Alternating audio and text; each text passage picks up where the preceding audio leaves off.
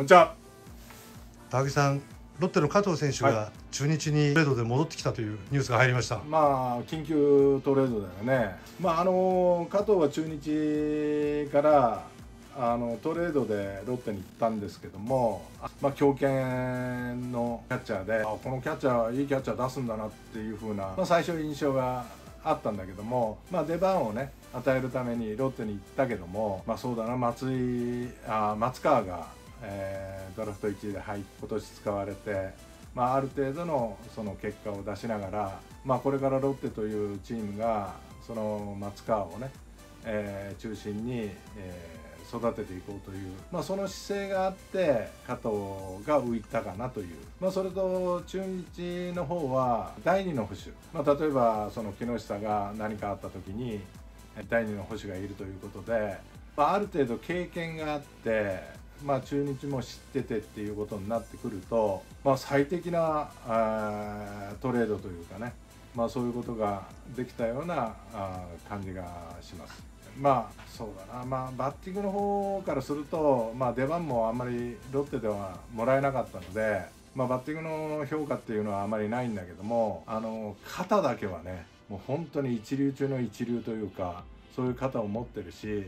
またその中日に戻るっていうことは内部もよくまだ知ってるだろうしね。メンバーもそんなに変わってないし。まあリードという面からするとあの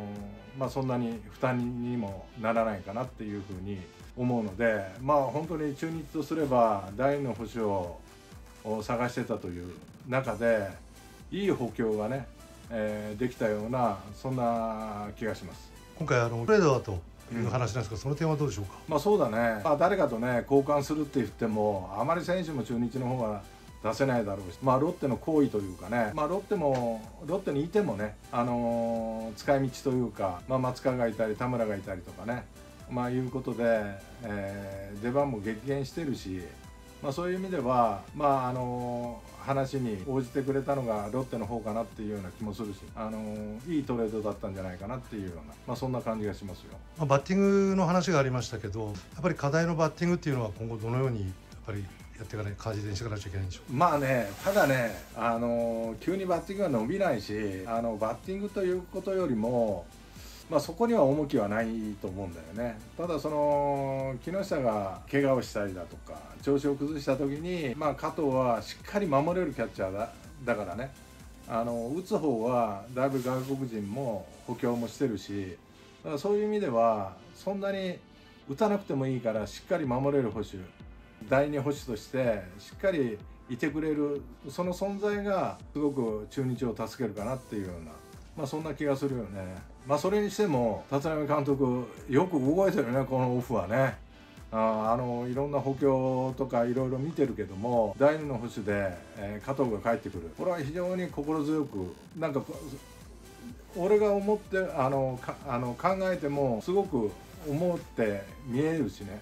あの強くなるようななんかそんな中日が見れるような気がします。あと中日今後の課題っていうか、まあ、トレードがある程度落ち着いてきたように見えますけど、うん、まだトレードっていうのは可能性としてはあるんでしょうか？もうこれで落ち着いたんじゃないかな。だからあのやっぱり年内にやっぱりしっかりした形チームをこう作っといて、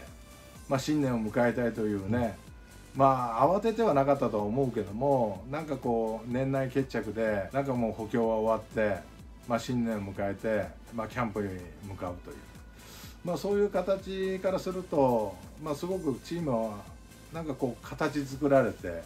落ち着いたなっていうようなね、あのー、今年最下位になって、まあ、非常に詳しい思いをして、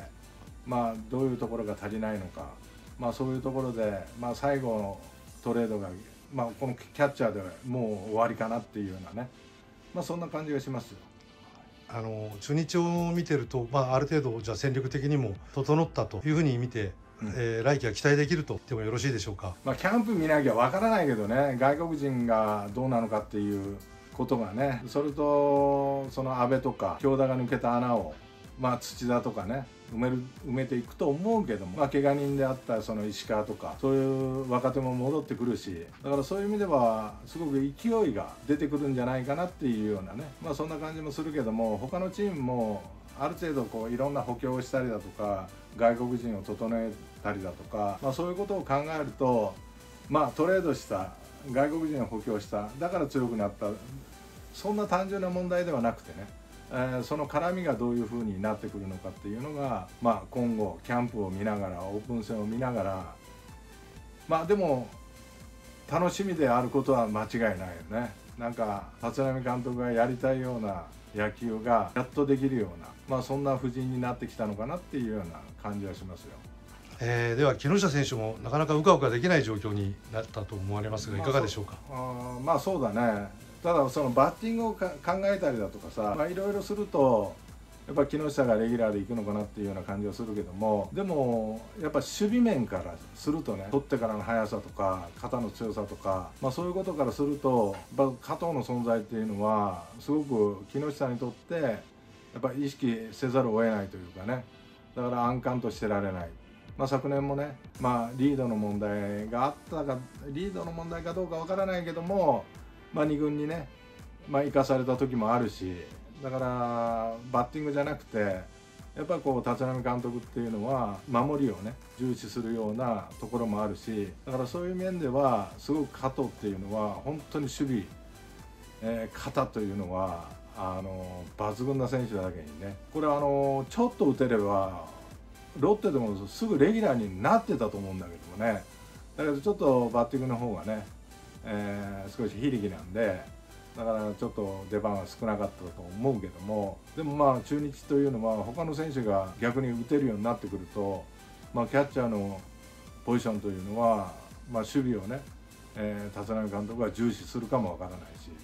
だからそういう意味ではこの2番手のキャッチャーを探してる探してるって言うけどもやっぱ木下とすればやっぱすごく意識をせざるを得ない、まあ、選手が入ってきたかなっていうようなね、まあ、そんな感じがします。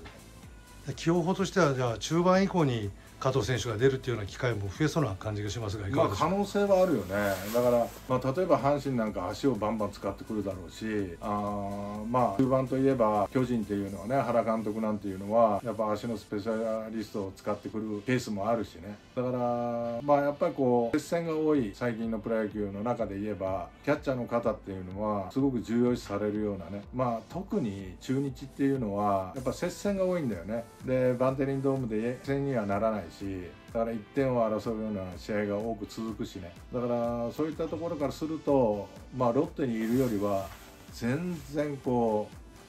う出番が多くなるかなっていうようなね、まあ、そんな感じがするよ。やっぱり戦術のやっぱりバリエーションが増えたということになるまあそうだね、はい、あのまあ木下が調子が悪ければそこに代打を送って加藤が守りに行くとか、まあ、そういうこともあるだろうしね。この試合はこう1点差になるなと思えば加藤を頭から使うケースだってあるかもわからない。だからそういった意味ではチーム内の非常に競争も激しくなってきたかなというね、まあ、外国人も2人ほど、まあ、3人か体制で行くって言ってるし野手がね、えー、これはなんか非常に競争がチーム内での争いが激しくなって、まあ、チームを強くするのにやっぱり一番はチーム内での競争が激しいかどうかなんだよ。だからそこでやっぱこううかうかしてられないという気持ちがやっぱこうチームを強くするし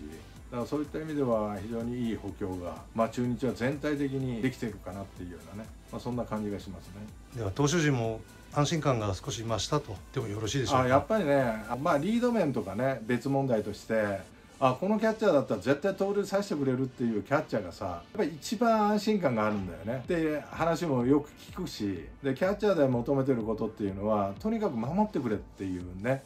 まあリードはお互いにこう考えることだからただやっぱり1点を争う時に僕は走られるっていうのがやっぱ一番気になることだしだからそういう面では加藤ということは相手のベンチからするとサインを出しにくくなる。まあそういうこともあるよね。だから一塁こう止めとくというかランナーを。そういった野球も加藤だったらできる可能性があるよね。まあ加藤の起用法。まあこれも非常に楽しみだな。まあでも本当に数多い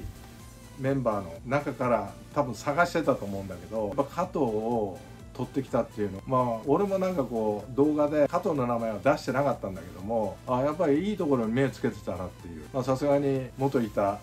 選手だけにやっぱこうすんなりチームに入れ入りやすいしね。でキャッチャーっていうのはやっぱそういったコミュニケーションというのはすごく大切なことだしだからそういった意味ではいい補強ができたと思いますなんか期待できますよ。ありがとうございました、はい